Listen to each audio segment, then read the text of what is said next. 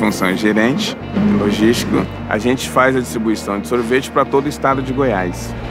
Quando nos foi apresentado o programa de manutenção ouro, fizemos contratação do primeiro para fazer um teste. E logo nós percebemos que foi uma boa aquisição.